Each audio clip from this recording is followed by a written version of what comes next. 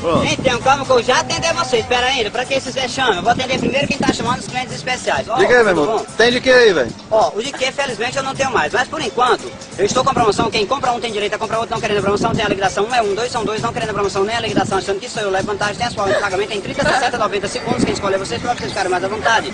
Passa até 120 sem entrada sem juros e caso vocês não queiram as três opções, eu trabalho com cartão, vale transporte, faço troca para agradar clientes especiais iguais a vocês. Querendo, como eu falei que o de que não tinha, mas eu tenho ainda os sabores de castanha, coco, morango, biscoito, cajá, chocolate, leite condenado, manivete, tangerina, tamarim, mendenha, cerola, coco, com coalhada, jaca, ovo, limão, abacate, ameixa, flores brigadeiro. E é bom aproveitar que estão acabando, só falta vender os que tem. Agora, na realidade, estão acabando não é o que tolé, a força e a coragem. O ainda tá quase mesmo pro Gabriel, pra Isabela, pra Sociedade, pro Gustavo da Ostra, já ajuda.